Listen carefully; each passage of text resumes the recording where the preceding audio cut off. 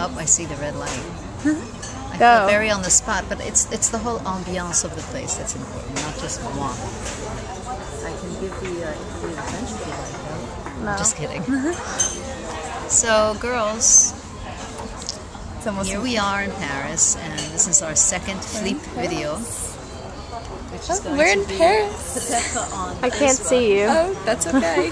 And Rachel, tell us where you're studying. And I'm studying. Wow. It's a complicated question. Go away. Where? Not Oh, what. where I'm studying. I wouldn't make you work now. Forget it, you're on vacation. if you stand over there, you can get a better view because the lighting is. Really Oh wait, now it's better. Now it's better. Oh no, now it's not. Okay, I'm going to move. Ooh, look how pretty. There you go. My first time seeing Paris in the sun. It's always been cloudy when I've been here. So quite nice. We're very lucky that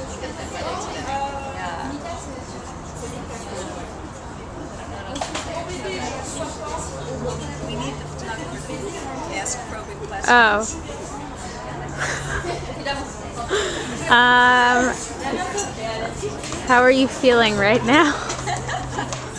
I don't. What kind of questions do you want me to ask? You look very relaxed, Rachel. How are you liking France thus far?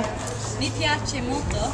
That's Italian. That means she likes it a lot. I know it. Uh, I'm thinking about the French Open. That's all I can think about. So Tuesday, we have tickets to the French Open, which is on my bucket list. And I heard that there was an amazing match yesterday. I'm so sorry I missed it. John Isner and I forget who. And John lost, and I have him losing that match. I just can't remember who it was. But anyway. And okay. Next. we don't want to know about the matches. We want to know about Paris. incredibly cool place. I thought it was Called Les Docks. I thought it was oh. called Cafe Paris, it looks like it's the roof. We are on the moon roof. We're on the moon.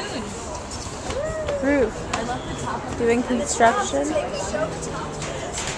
Oh. does look like And here's the top.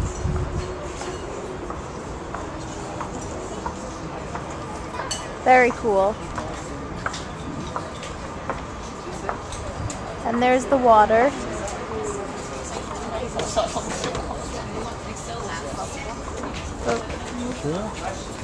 And we're coming back.